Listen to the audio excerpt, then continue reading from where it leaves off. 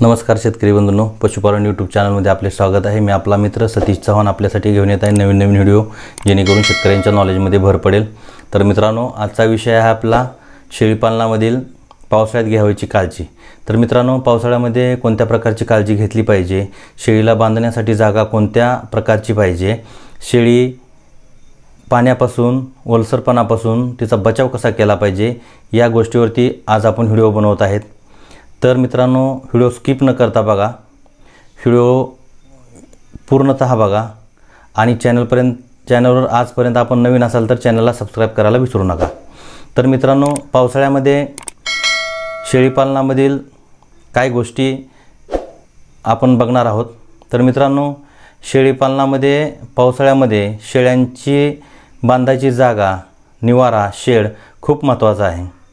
शेळ्यांना मोकळी हवेशीर आणि स्वच्छ आणि कोरडी प्रकारची जागा पावसाळ्यामध्ये खूप गरजेची आहे. जेणेकरून पावसाळ्यामधील फंगल इन्फेक्शन आणि नक्यांना होणारे इजा नक्यांना इजा जी होते ती आपण ज्यावेळेस शेळ्या फिरवण्यासाठी सोडतो मुक्त शेळीपालनामधील हा विषय आहे.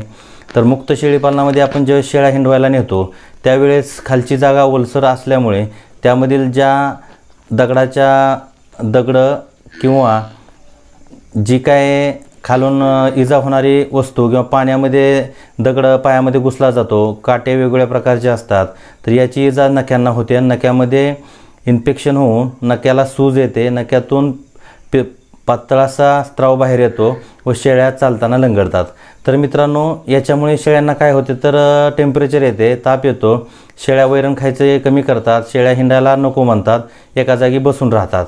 यामुळे शेळीची गाभण शेळी असेल तर गाभण्याची थोडी शक्यता राहते आणि शेळ्या वैरण कमी खातात त्याच्यामुळे आर्थिक नुकसान होते.